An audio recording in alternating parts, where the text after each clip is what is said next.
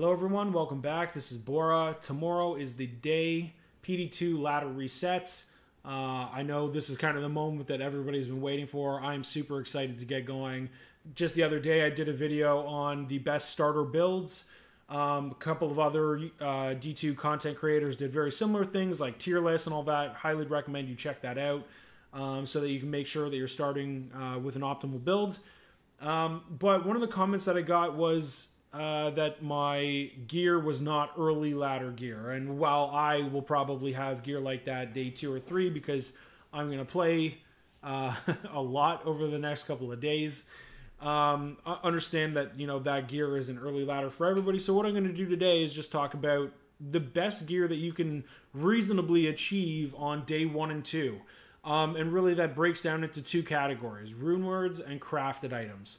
Um, so before we get going, uh, I uh, just want to call out with respect to rune words, and this is this is pretty important uh, to understand. Um, for instance, the most important, or sorry, the most uh, most sought after very early game rune word is stealth. Um, if you've ever watched one of those mega talented speedrunners like Llama or Ryu, you'll notice that they always start out with the stealth rune word. And here's an here's an important thing to understand uh, when it comes to rune words. This is studded leather. Sorry, my my loot filter has has uh, has blurred it out, but this is studded leather. It has no level requirement. Obviously, requires 27 strength, two sockets.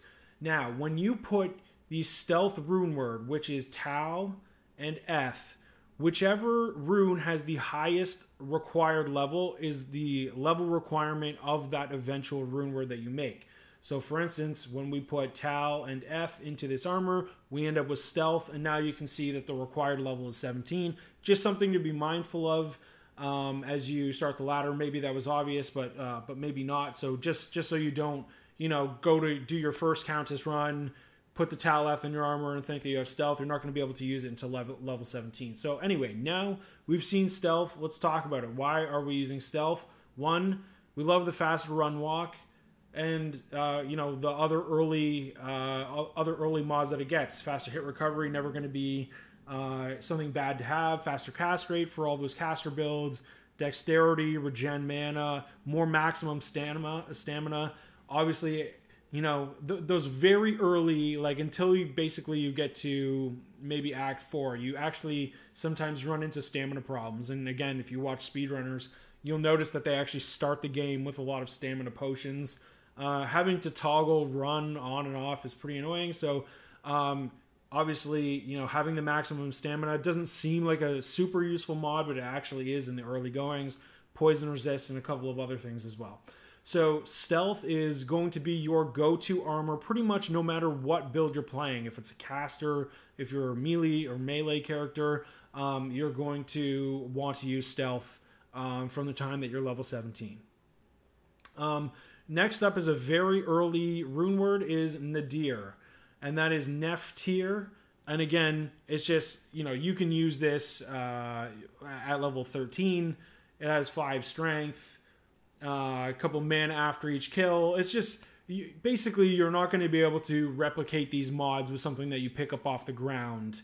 Uh, at these levels. You know, maybe you find like the odd rare that drops when you're doing a Trist run or something like that. But all told, Nadir is a, is a really safe option and something that, you know, when I get started, uh, Nef and Tir are pretty easy to come by. Um, and again, you, you, know, my process and, and, a lot of people when they when they start Act uh, One is obviously go to Den of Evil, uh, go save Cain in Tristram, uh, and then some people do Trist runs, but I personally go uh, straight to Countess and I start doing Countess runs and at that time, there's a couple of benefits. One, you're looking for the runes, so you're looking for this Nef and Tir. You're looking for the Taloneth for your stealth. Two, you're going to get levels. So I do about three or four Countess runs. You'll probably get to level 13, and then you can start moving on. So that's just a hopefully a little helpful tidbit. But these are my two go-to rune words that I use at a very low level um, for something a little later in the game, uh, and and obviously not too late, but you know, Sol Rune you can start finding a little later, and I believe that it is the highest rune that you can find from the normal uh, Hellforge quest is lore. And this is kind of what you want to be wearing by the end of the day, uh, on the first day or the second day. Plus one all skills. You know, you can find maybe like a like a Tarnhelm or you know something like that if you get really lucky. But otherwise, you're probably going to end up wearing something like lore, which is just a, it's just a great option. 30 lightning resist is really nice as well. Uh, the mana after each kill, bit of bit of a PDR, not percent, but flat PDR. All these things matter in the early goings. Um, so probably by the end of the day, you want to end up wearing something like lore. Um, similarly, for a shield, Shael Eth equals rhyme. Rhyme is such a good rune word in the early goings, and it, it, it only requires a two socket shield, which is awesome. Um, 40% faster block rate, 20% chance of blocking, regen mana, 25 all res, cannot be frozen, 25 magic find. This is the dream shield uh, for the early goings. If you can have this by the end of uh, day one or two, you're probably going to use it uh, for a little bit just because it is that strong.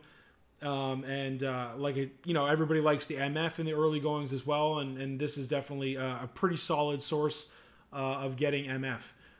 Um, for a weapon, you might want to consider uh, a spirit sword, and that is Tal, Thul, or Amn. And a lot of these runes, guys, are very easy to get day one. Um, and, and specifically, if you do the Act Five quest where you save the barbarians, you get uh, you get Tal, Ral, and Ort. You know, so in a lot of situations like that, it'll help you get insight or spirit or uh, anything, you know, any maybe maybe some of these other rune words that I mentioned uh, earlier or later in this video. Uh, but all told, Spirit Sword is a great option. Uh, it, as you can see, there's you can get up to 35 faster cast rate. Obviously, plus one skills is going to be huge. Vitality, huge mana, which obviously day one is a big problem for most builds, most caster builds. You know, if you're a fireball source, you really find that you can't be spamming all the time. So getting, you know, this has the top end of 82 mana, super important. Um, they've actually just added this requirements minus 25, which is super nice. Um, you can also make spirit in a shield, and it does offer a ton of resist. Um, obviously, that same faster hit recovery that you get on the weapon, the same plus skills, more faster cast rate. The only problem with spirit as a shield is that the only so for non paladins the the the uh, four open socket shield with the least strength requirement is a monarch, which has 156 strength requirement.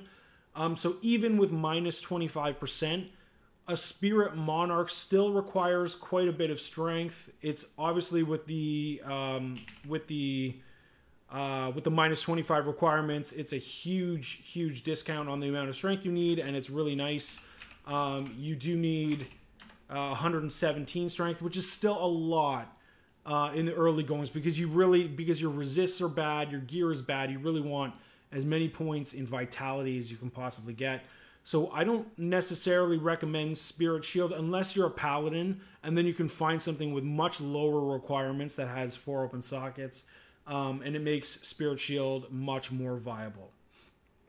Um, so these are kind of like the very early game, and I'll just call this one out because this is very early. But uh, for a specific build, um, if you're playing any fire skill uh, build, then Leaf is a great option. You can see, and one of the cool things about these rune words, right?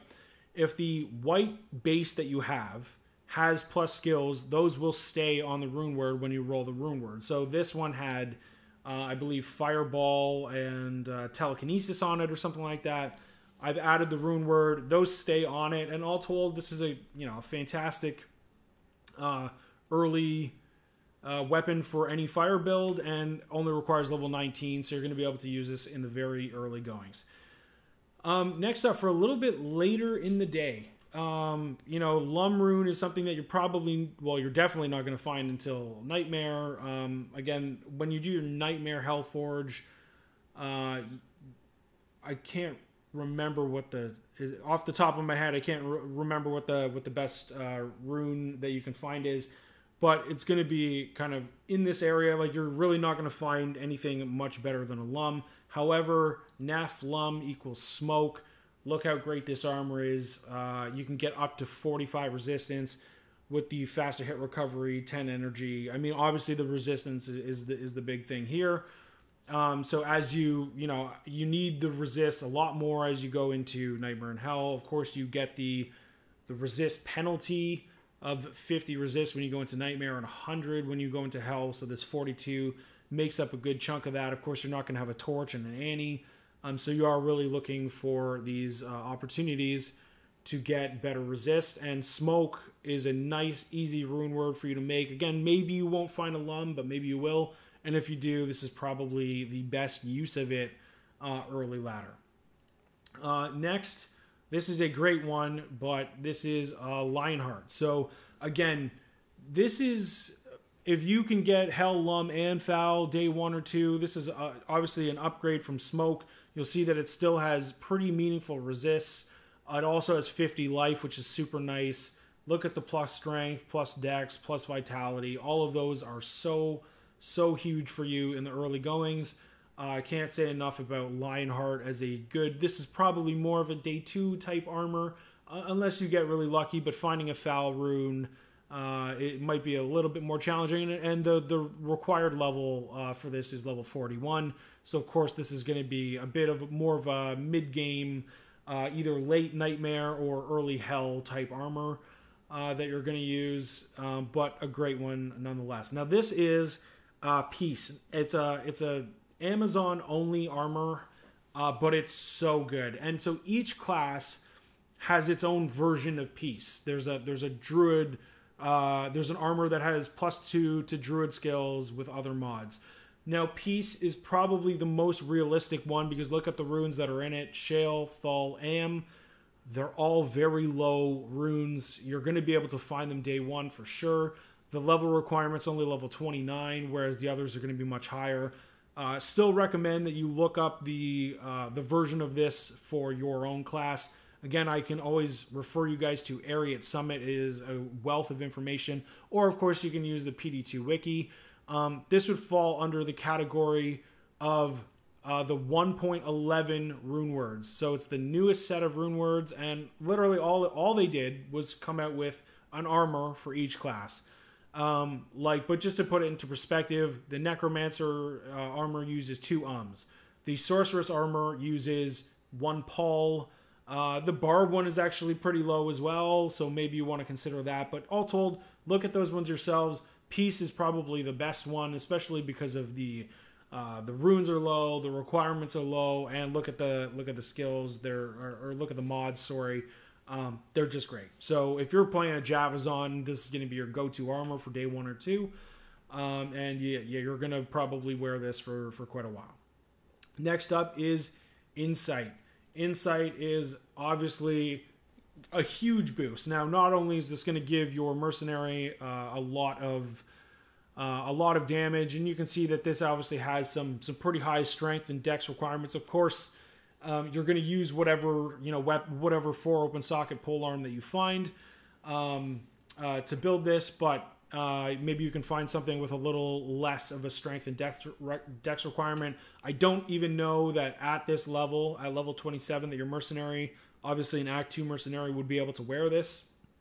But all told, as soon as you can equip Insight, you're going to want to do it.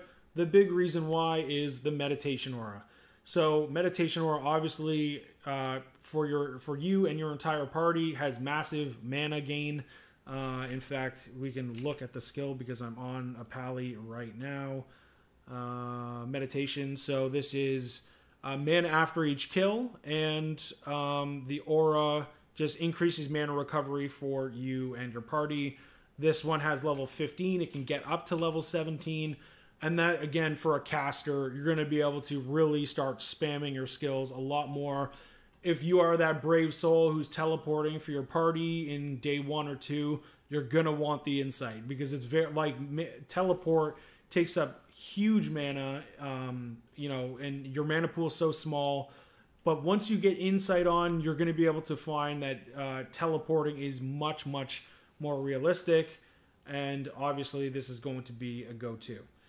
Um, for you melee players out there, this is Malice. Now, Malice has 100% chance of open wounds. It's got a bit of uh, ED, some max damage, minus target defense. All of these things uh, are fantastic uh, for the early going. Now, I've used a flail here.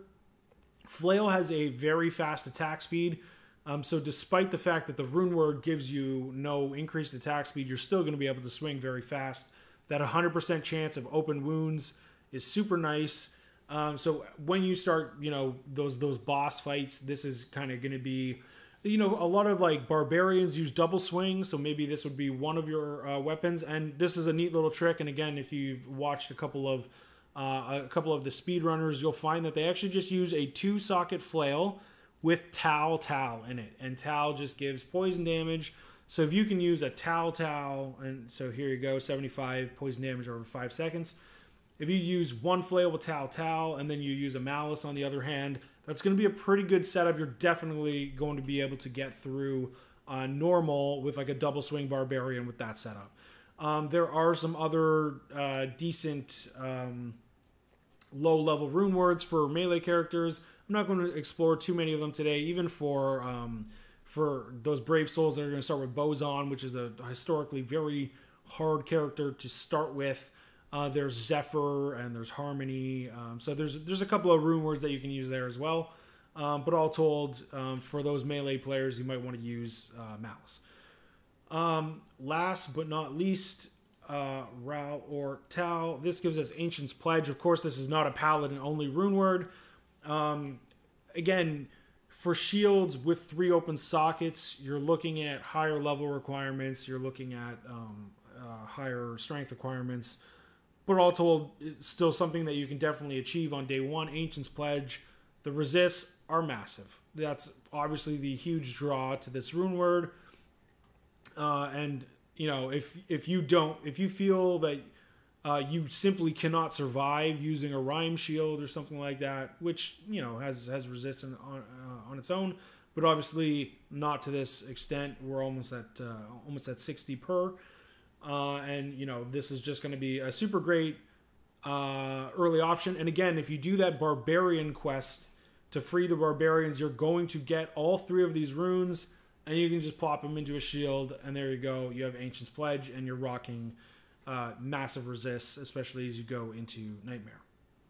So that covers off the early rune words, guys. Don't get me wrong; there are other good rune words for early going. Uh, wealth, for instance, is is a is a pretty good one. I believe that is Lem Ko Tir. So again, I, tried to avoid uh, some of those rune words that require those. You're probably not going to find a day one. You might not even find a day two. So I didn't include that, but wealth is another great one. Has huge MF on it as well. So uh, definitely encourage you guys to again go to PD2 Wiki or to Arreat Summit. Look at the rune words. Obviously, PD2 has made some changes to the rune words, so it probably makes more sense that you look it up on the PD2 wiki. Let's get into crafting. Now, they've done some really, really cool stuff uh, with crafting. And basically, um, for like blood weapons, for instance, it used to have to be a certain type of weapon. Now you can use anything. So I've I've brought up some hatchets, for instance, uh, whereas it used to be you know axes only or swords only or something like that. So so now you can use whatever weapon base you want as long as it's magic. Again, magic being the blue one. Uh, you can craft, and so they've done that um, with with all of their crafting. And what the cool thing that they've done is you can actually upgrade those crafted rune words. So if you do craft, uh, for instance, you know a safety armor, and you craft it in uh, quilted armor, you can then upgrade that to Ghost Armor and upgrade it again to Dust Shroud if you really want to. Again, that there's a rune investment in that, of course, so it would have to be a pretty sweet roll for you to want to do that. But maybe with these, you know, with these weapons, maybe you can get away with a hatchet in normal, uh, but you can't in Nightmare. So just upgrade it, and you'll get, you know, that your your base will become exceptional. Any ED on the weapon will apply against that exceptional weapon uh, base damage and you're going to be obviously in a much uh, better spot. So, um, with crafting and early game crafting specifically, uh, and of course for the for the um, uh, for the caster weapons and all that kind of stuff, just start low because certain mods will spawn on these weapons, so you you can't actually predict what the um, uh, what the required level is going to be. Um, but for instance, if you're if you're a sorceress and you just want those base mods that come on a uh, that come on a crafter or sorry a caster craft weapon, and I'll show you what that looks like right now. So plus one skills and 10 to 20 faster cast rate. This comes on every single uh, on on every single crafted uh, caster weapon that you make. And so again, it's a it's a good alternative. Um, Spirit still is pretty desirable to me, um, but I think it's worth you know you know you're to pick up a couple of P gems uh, while you go for these first couple of days. I think it's worth just giving it a go with some of the crafting. Now this one, because of the mods that it rolled, uh, it actually requires level 49. I've already done I've done some other crafting where it came out with like a level 24 uh, requirement. So it is a bit of a crapshoot. Maybe I'll uh, sorry, I don't know. Maybe I'll craft one more just to see if I can get uh, something with uh, with a little lower of a requirement. So again, uh, in the cube, we're going uh, Tir, jewel, PME and let's hope for so this requires level 86 now if you look at all the mods that are on it obviously thunderstorm energy shield that fire damage is obscene for whatever reason plus two to lightning. Because of the mods we rolled a craft that obviously has a pretty obscene uh, level requirement so i mean that's obviously the risk when you craft at these early levels which is kind of why spirit sword was so high on my list in terms of this is probably something that you should be chasing uh, day one. So that is a caster weapon, and guys, like the roll can be so good. Like even this one, like plus two Hydra, 48 mana, 16 faster caster. This is a pretty good uh, weapon. Definitely something that you can use the you know back half of day one or day two, depending on, of course, how much you play. Um, for people like that have a structured reset group like me, our, our goal is to finish the day at level 80, so I'd be able to wear something like this, but understand that is not everybody's playstyle. Um, anyway, something to keep your eye out for. Next, the safety armor. Uh, this is a uh, Ethrune, any jewel. Uh, again, just well, actually, just, yeah, any jewel and uh, perfect emerald. This one got two sockets, pretty cool. But the big uh, mod on this one the enhanced defense is a guaranteed mod, but the really cool one is the physical damage taken uh, as a percentage. And I could have sworn that they changed it. I'm just gonna look at my at my notes quickly because I'm I think it was supposed to be between 10 and 20. If I'm not mistaken, it is. So interesting that this one spawned five. Uh, maybe I'll report that one to uh, uh, to our boy Senpai. But uh, the PDR. So if you're playing a me- melee build uh, day one and you're you know frontlining, you're going to want one of these crafted armors because the PDR, like PDR, is a mod that you don't get on many things, and it's usually the way more advanced items like Storm Shield, Verdungos, Vamp Gaze, uh, Crown of Ages, like Shaftstop. Those things have uh, PDR as a percentage, whereas if you just saw what that rune investment was, and again uh, just to reiterate, that was uh, an Ethrune and a jewel and a perfect emerald. Like Eth rune, you know that you're gonna find an Eth rune on day one, no matter what. Um, so this is going to be a viable option for pretty much anybody to craft, and again, highly recommend it uh, for those melee characters or, or anyone that is frontlining. Uh, next, a caster shield. Uh, and again, while I do love uh, Rhyme and I do like Spirit, uh, this one is obviously you can see that the strength requirement for this is only 53. So again, it was 117 was going to be the strength requirement for uh, for using Spirit Shield. This has huge faster cast rate on it as well. This spawns some resist on it, not a guaranteed mod. Uh, but all told, you can craft something pretty neat like this uh, especially if you're you know if you're the tele source and, and you want that faster cast rate. uh, which is what telesources thrive on, then you're going to want to do you know one of these uh, caster shields. To be honest, the entire caster uh, craft pack is amazing, and so this one got 23 faster cast rate. The mods on it outside of that aren't so great. Required level 43, required strength 53, uh, just like the other one. So again these things highly vary, but it's just worth the risk. I mean, there's the, and when I say risk, it's like, what are you losing? You know, like, okay, I'm gonna do a blood weapon, I'm gonna lose an Ort rune. Like, it's not, uh, it's not prohibitive the the cost of, of crafting these things. So certainly, um, explore the entire gamut of caster. So you obviously you can do helm, boot, gloves, belt, shield, body, amulet, ring um, in in a lot of those cases, especially the amulets and the rings, which are guaranteed to spawn faster cast rate, as are the gloves now, as are as is the belt. The belt used to have a, a, a range of the of the faster cast rate, and now it's um, uh, I believe it always gets uh, ten. Uh, and sorry, I just realized that when I read off that. Uh, so the caster shield, yeah, Ethrune. So yeah, now all belts they used to range between five and ten. Now it's straight up ten. So again, if you're looking for faster cast rate, definitely recommend looking at the uh, caster items that you can craft. They're they're all pretty good. Uh, and lastly, we're just going to look at one of these blood weapons. So they've now added uh, enhanced damage as a guaranteed mod, which uh, was not the case before uh, blood weapons. So or sorry, it, it, used to have 35 to 60 ED as a guaranteed mod. Now it has 55 to 80. It also used to have 1 to 4% life stolen as a guaranteed mod. They've changed that to 3 to 6, which is a big upgrade. Uh, and it still has between 20, 10 and 20 life. As you can see, this one got uh, a secondary mod of, of additional enhanced damage, which is very nice. And, you know, 33 uh, 33 to 67 damage is pretty decent. Super low requirements 20 dex, 20 strength, 43 level.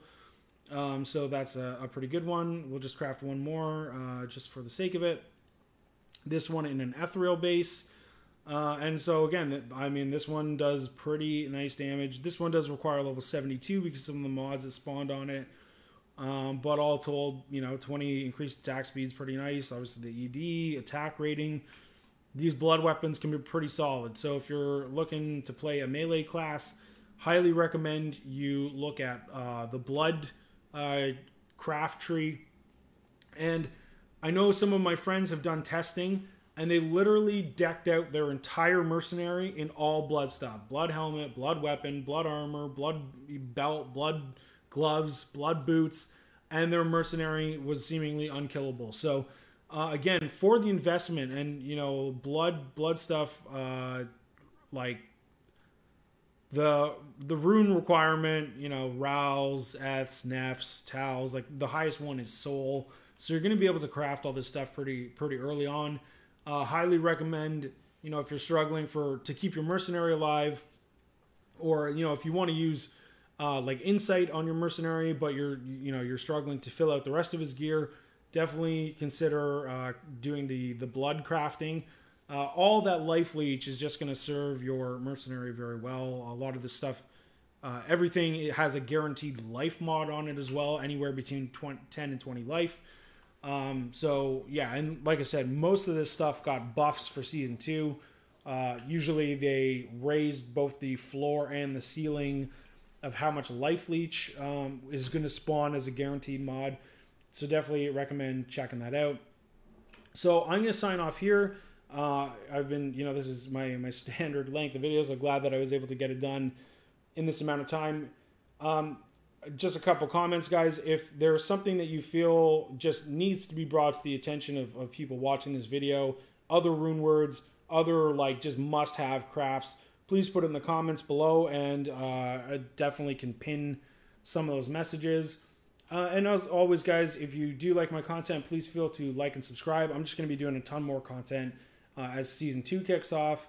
I will be streaming on Twitch um, pretty much full time over the next week because I am part of uh, a part of a group that is going to be racing for 99. Maybe not, you know, going for number one, but certainly a lot of uh, people in my group want to be top 10. So I'm going to be streaming a lot This is Bora guys signing off. Uh, if you want to chat with me on Discord, B O R A hashtag seven seven zero zero, and I'll see you guys next video.